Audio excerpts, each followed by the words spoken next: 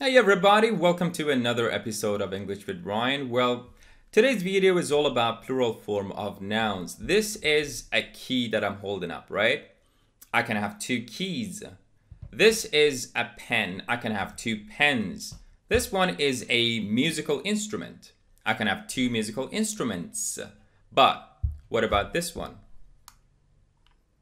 Can I say two mouses? Not necessarily. So stick around, I'm going to tell you all about the irregular plural nouns.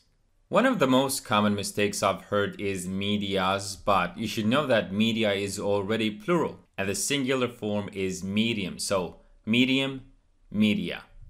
Phenomenon is another very common mistake. The plural form of phenomenon is phenomena. This one is most commonly mistaken and I've heard criterias a lot, more than once. The singular form is criterion and the plural is criteria. This one is very commonly mistaken again because most of the time we have seen the plural form and we think it is the singular one. But you should know that bacteria is the plural form of bacterium. This next one is a bit tricky. Analysis is the singular form, pay attention to SIS at the end of it. And the plural form is analyses. Analysis, singular, and analyses, plural.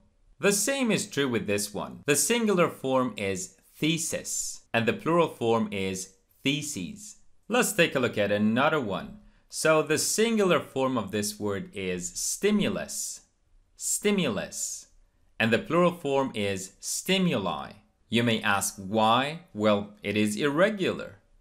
This one is a bit confusing. Quiz in its singular form has one Z, but when you make it plural, you add another Z, so you have double Z and then ES. Hypothesis in its plural form will change to hypotheses. You remember the word analysis, right? Same thing. Diagnosis in its plural form is diagnosis. And crisis changes to crises.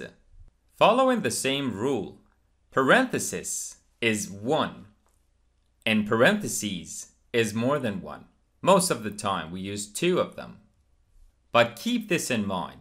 Not all the plural nouns change. Some of them are unchanged, like deer, bison, shrimp, aircraft, fish, moose, trout, and spacecraft. Even in their plural form, they remain the same, they don't change. I have only mentioned some of the irregular plural nouns. What irregular plural nouns do you know? Comment below so your friends learn from you as well. Now go ahead and like the video. You know, when you like the video, you're actually supporting me so my video will be shown to more people. Don't forget to subscribe if you're here for the first time. Thank you so much. See you soon in the next video.